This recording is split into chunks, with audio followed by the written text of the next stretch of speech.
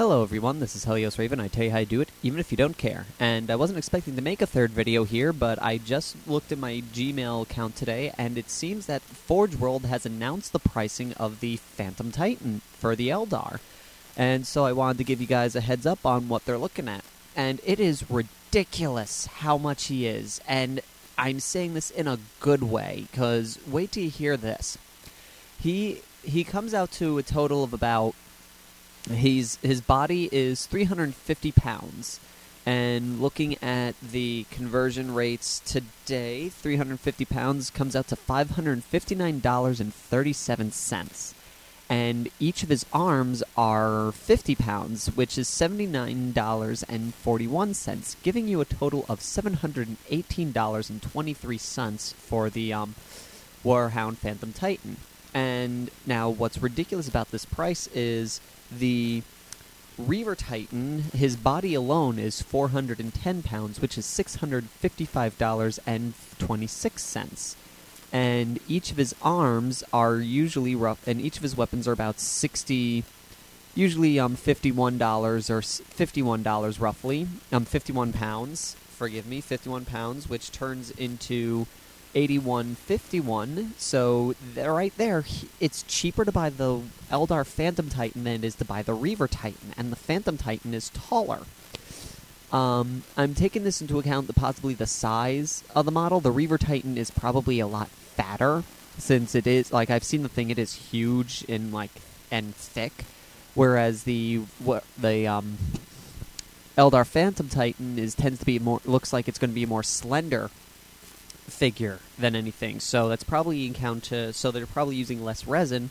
They're probably using about the same amount of resin they're using to make the Reaver Titan's body to make the entire model piece of the um, Eldar Phantom Titan. So this is really good. I mean, for especially all those Eldar fans it, who were thinking, oh, you're probably like I said, we're probably going to spend about a hundred, um, nine hundred dollars on this thing. it's not that expensive. Um, in comparison to the other Titans in its class range, which is really, really awesome. And looking at it, like they said, they're selling the weapon separate from its body, which makes me question are they going to have different weapon types? Which would be really awesome if they do um, have that. I'd be very curious to see what type of different weapons they'd give the thing. Um, right, like we know it's getting a um, pul- uh, Phantom Lance and Phantom Pulsar and a Phantom D cannon. What I'm ho- two things I'm hoping for is that they're going to make alternate arms for them, so you can have either two D cannons or two pulsars, or have your D cannon, your pulsar on either sides for for uh, some aesthetic choices that you'd like or something. Or, and if not, give us, or if they don't at least do that, at least give us some new weaponry. So that's what I'm thinking that they might actually do. In, in that case, they might be prepping for making a Warlock Phantom Titan. This way, you can purchase the body, and like I said, that head, that alternate head, may be for the Warlock um, ver- variant of him, and then they just have to craft new weapons, which would be amazing.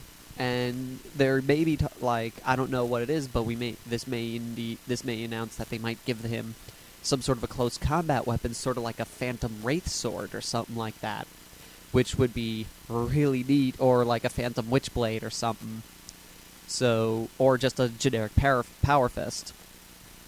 But so that's the latest on the um the Eldar Phantom Titan, and according to my information here, um, the it's going to be there's going to be a limited availability at at for him at Games Day, um, and it looks like that's going to be starting April, um, the 1st of April to the 3rd of April. So that's going to be the first time anyone's going to be able to purchase the Eldar Phantom Titan, as long as well as um, a couple of other extra models that they've um, been announcing. I don't know too much about, but it looks like a lot of uh, it looks like two fantasy models um, that they're producing um, as well.